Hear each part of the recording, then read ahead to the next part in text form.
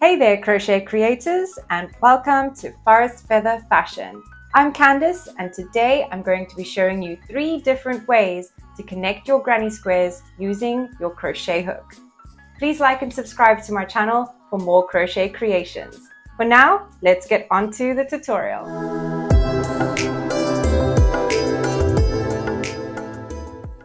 It's time to join these granny squares. If you like the look of them, I have a classic granny square tutorial. I will put the link in the description box below. For this video, I will be using a bright yellow yarn so that you can clearly see the difference between these three stitches. The single crochet method. First, we'll need to create a slip knot on our crochet hook. Grab your two granny squares, wrong sides facing each other.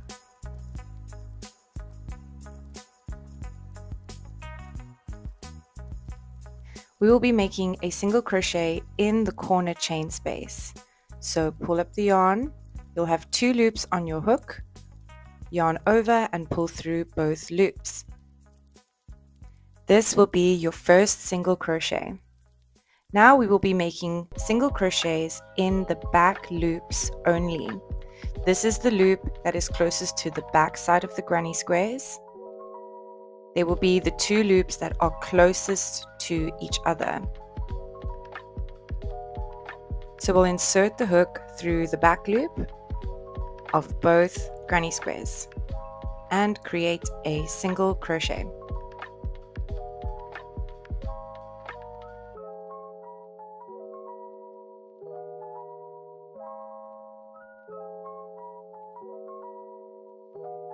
Continue making single crochets down the side of the granny squares. And when you get to the end, you will make a single crochet in that corner chain space. And this is what a single crochet on top looks like. Now it's time to grab your next two granny squares, wrong sides facing each other. Decide how you would like to position them. And we will make a single crochet straight into the chain corner spaces. Grab the yarn, you'll have two loops on your hook, pull through both loops. Continue working in the back loops until we get to the next chain corner space.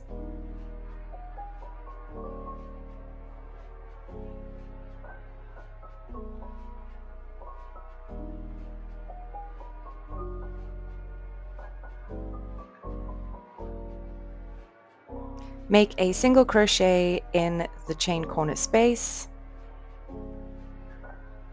I'm going to be cutting my yarn and tying this project off as I will only be joining four granny squares. You will continue this along the entire length of your larger project. Now it's time to work on the other side. Make a slip knot a single crochet in your chain corner space. Again, we will only be working in the back loops, the loops that are closest to each other in your granny square sandwich. Continue this along the side and I will meet you at the intersection.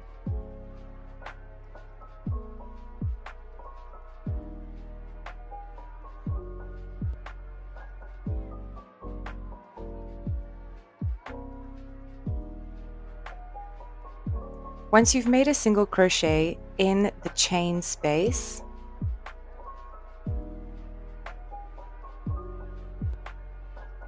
we are going to chain one. This will lie over the top of the ridge and prevent the project from bunching up. Make a single crochet in the chain space and Continue making single crochets in the back loops only.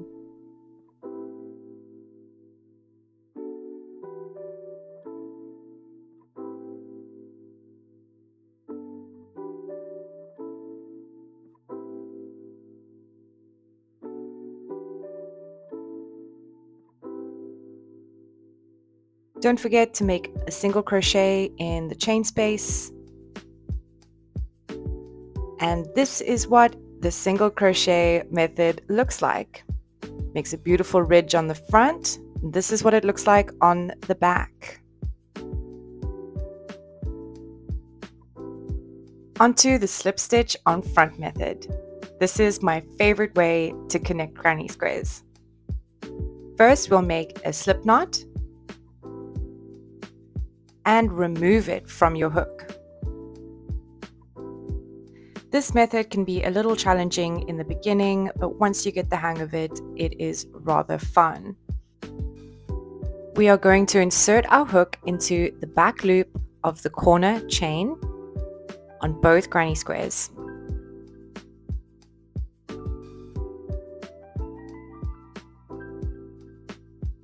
Now place your slip knot onto your hook and pull through both loops.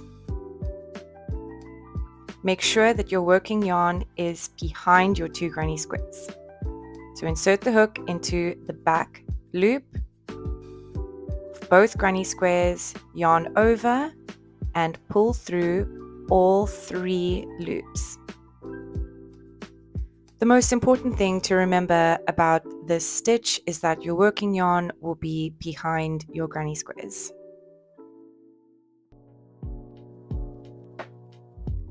It is a lot easier to have your granny squares on a flat surface when making the slip stitch on front. Your hook will just weave through the sides when you start getting a hang of this stitch.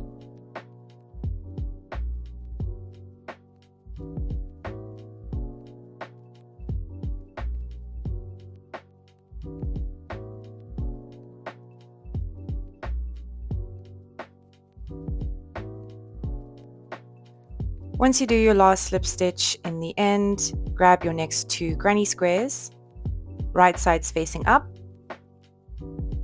Make sure that your working yarn is behind the two granny squares.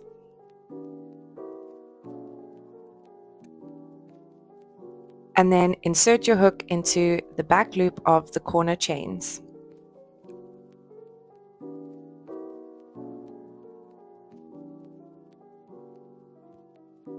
Yarn over and pull through all three loops. Continue this pattern until you reach the end.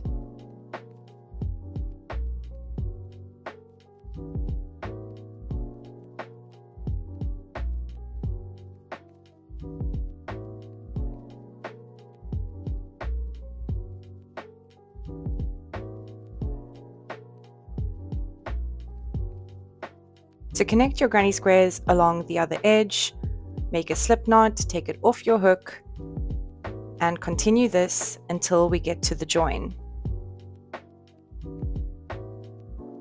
Make sure that your working yarn is behind the two granny squares that you are connecting, but above the previously stitched side.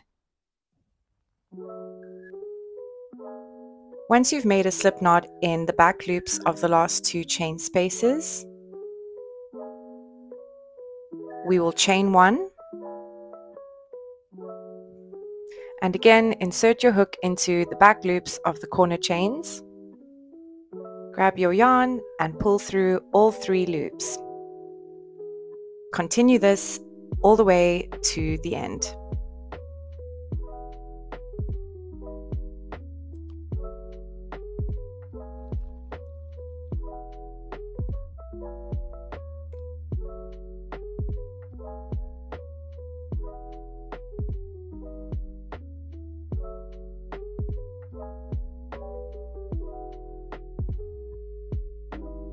The slip stitch on the front method makes a beautiful flat braid between the granny squares. This is what it looks like on the back.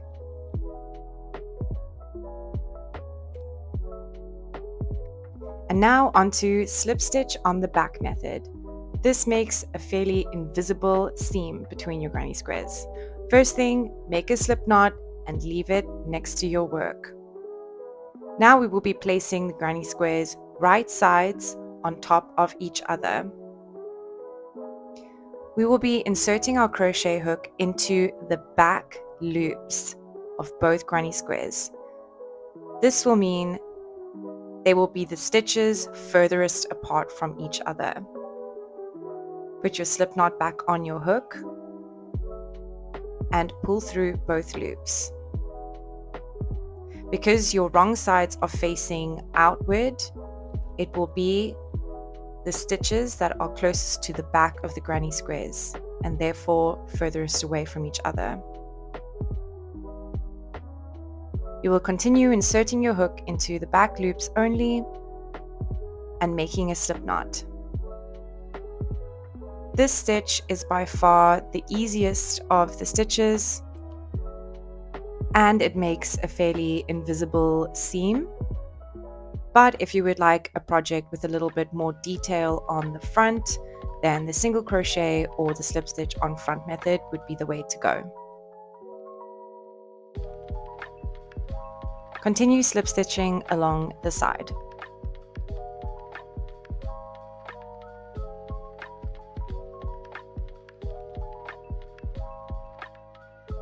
Now we're ready to add our next two granny squares.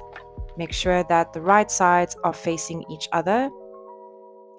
Insert your hook into the back stitch of the corners, yarn over, and slip stitch to connect your granny squares.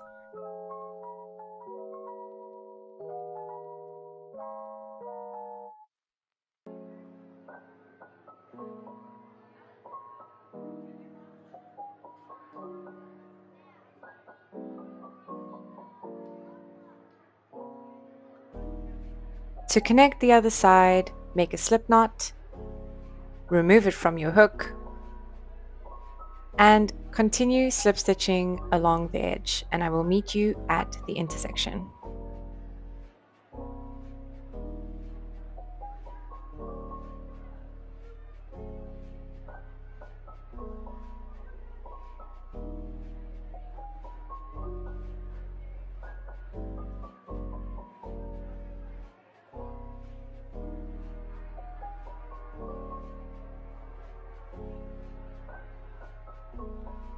When you get to the intersection, don't forget, we are going to chain one,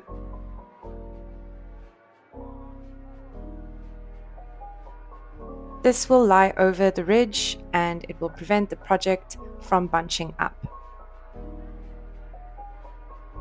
Continue this all along the edge and I'll meet you at the end.